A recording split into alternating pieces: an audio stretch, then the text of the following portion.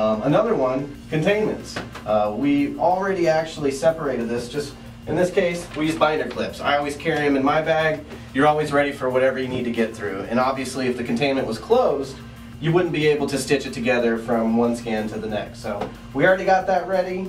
Um, we're gonna go ahead and do our first scan right now.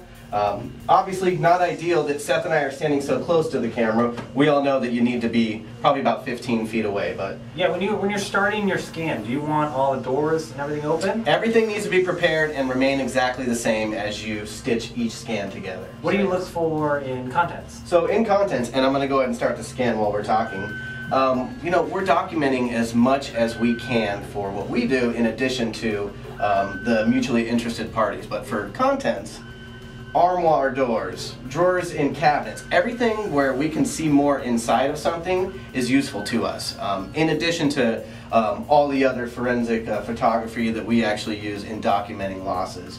Um, so we got one scan to go. Possibly it'll take, being that we stood so close, possibly not. Anyways, we will continue to move through this, right to the other side, and it took, boom. Just like a door, every time we go through doors, we go one before and one right after, so we treat containment in the same way.